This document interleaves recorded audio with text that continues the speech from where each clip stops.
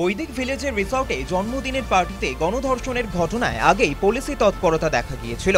শনিবারই রাজারহাট থানায় এসে পুলিশ আধিকারিকদের সঙ্গে গোটা বিষয়ে আলোচনা করেন বিধাননগর কমিশনারেটের সিপি গৌরব শর্মা।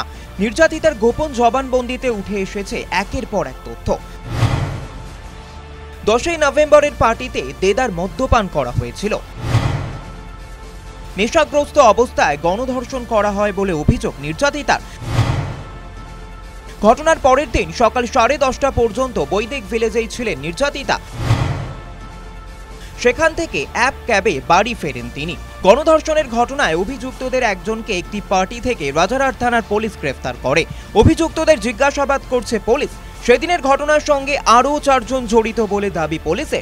তাদের সঙ্গে নির্যাতিতার কি সম্পর্ক তা খতিয়ে দেখছে পুলিশ। গণধর্ষণ কাণ্ডে রিসর্টের দায়িত্বে থাকা নিরাপত্তা রক্ষী ও ম্যানেজারকে ইতিমধ্যে জিজ্ঞাসাবাদ করেছে রাজারহাট থানার পুলিশ। আগামী দিনে গণধর্ষণ কাণ্ডে আর কি নয়া তথ্য মেলে সেটাই এখন দেখার। সন্তোষ ঠাকুরের রিপোর্ট, নিউজ টাইম।